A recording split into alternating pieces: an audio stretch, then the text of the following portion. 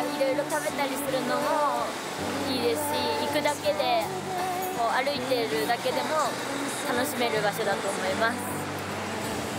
ここが私のマイフェバリット神戸です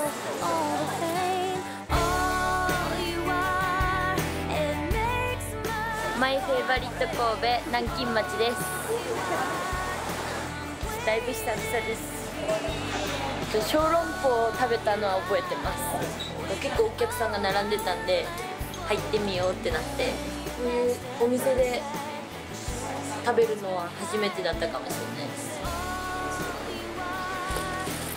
うん美味しい。じゃあ行ってきます。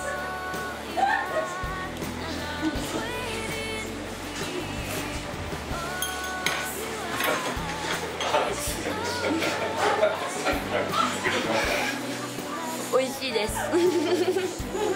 暑いけど。賑やかで。あと来て歩くだけでも楽しい場所ですしこうやってお店に入って美味しいものもたくさん食べれる素敵な場所だと思います。